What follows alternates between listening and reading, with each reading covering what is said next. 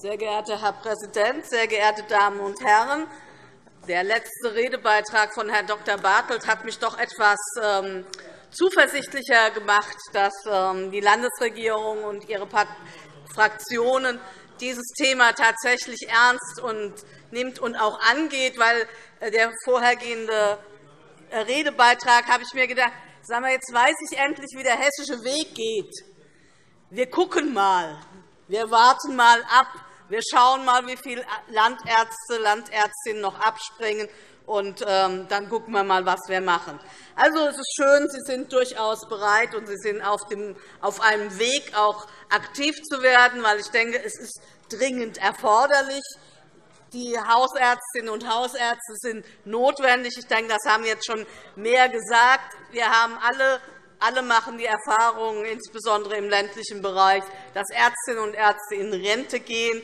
Äh, es sind gerade 4.000 Ärztinnen und Ärzte in Hessen in der Grundversorgung, und jeder Zehnte sucht jetzt ganz aktuell schon und längere Zeit schon einen Nachfolger und eine Nachfolgerin. Also, wir müssen jetzt nicht um die 300, äh, die vorhin schon genannt wurden, die schon äh, vakant sind. Also, das Thema ist wirklich schon sehr deutlich und sehr, sehr prekär.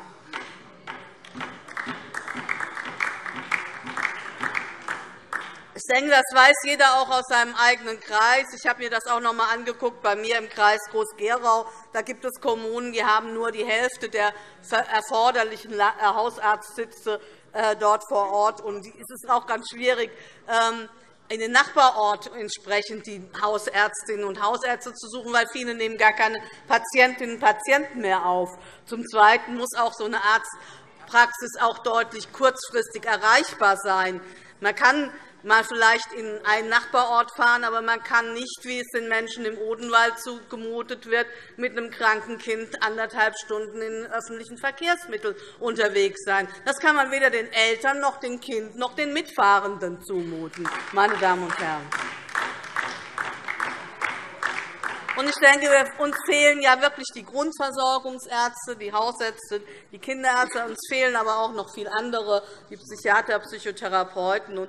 Ich denke, der Mangel trifft ganz besonders diejenigen Menschen, die auch in prekären Lebensverhältnissen leben. Wir brauchen eine Gesundheitsversorgung, die tatsächlich allen in Deutschland lebenden Menschen zugutekommt und von denen alle, die alle nutzen können. Und um die allgemeinmedizinische Versorgung auf dem Land zu verbessern, schlagen wir äh, Folgendes vor. Erstens. Die Zahl der Medizinstudienplätze muss in Hessen erhöht werden. Hessen liegt bei 1,4 Medizinstudierenden pro 1.000 Einwohnerinnen. Es müssten aber 1,5 bis 1,6 geben. Hier gibt es einen deutlichen Handlungsbedarf der Landesregierung. Und da reicht nicht, diese Teilstudienplätze in Ganzstudienplätze auszubauen. Das ist auf jeden Fall völlig unzureichend. Hier muss gehandelt werden. Die zusätzlichen Ausbildungsplätze sollten durchaus Studienplätze sollten für Anwärterinnen bereitgestellt werden, die bereit sind, in die nicht-urbanen Gebiete tätig zu werden.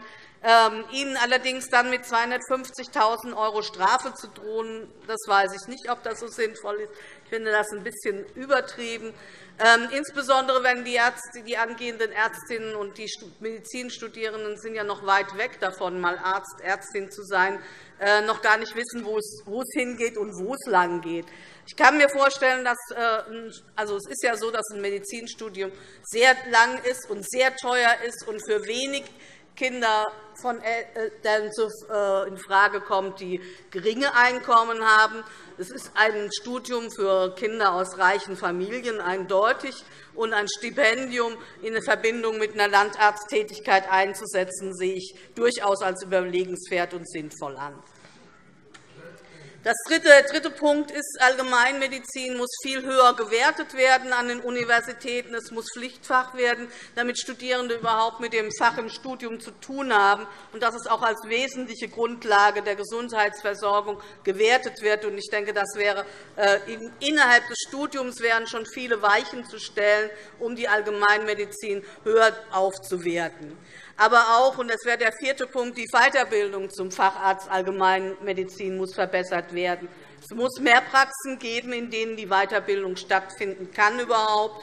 Und diese Praxen zu fördern, die sich auch dieser Aufgabe äh, unterwerfen, das ist eine gute Sache. Das sollte auch, diese Förderung sollte auch weiter vom Land ausgebaut werden. Der fünfte Punkt wäre, die jüngeren Ärztinnen und Ärzte wünschen sich ja eine Arbeit, bei der sie gerade in den ersten Berufsjahren Kolleginnen und Kollegen an der Seite haben. Ich denke, das ist eine deutliche Aussage von den jungen Kolleginnen und Kollegen. Und sie haben auch oft nicht die Möglichkeit, das finanzielle Risiko einer Praxisübernahme zu gehen. Das heißt, sie wünschen sich auch klare Arbeitszeiten.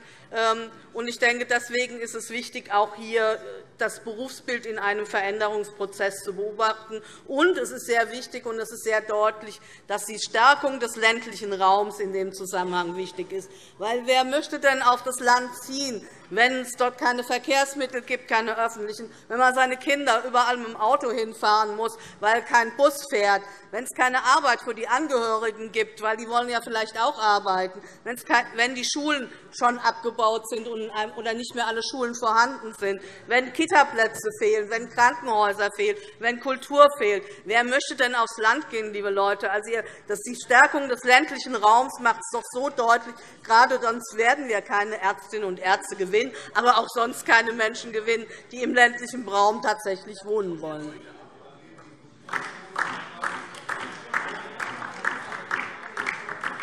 Ein sechster Punkt ist, Gesundheitszentren und medizinische Versorgungszentren können Ärztinnen und Ärzte im Anstellungsverhältnis beschäftigen. Ich denke, das ist sinnvoll, auch gerade damit man eine Kollegialität hat.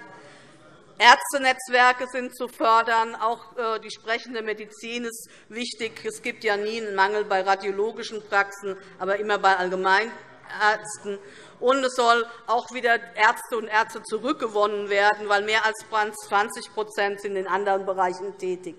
Aber insgesamt haben wir die Situation, dass die gesundheitliche Versorgung in diesem Land seit einigen Jahren an die Wand gefahren wird.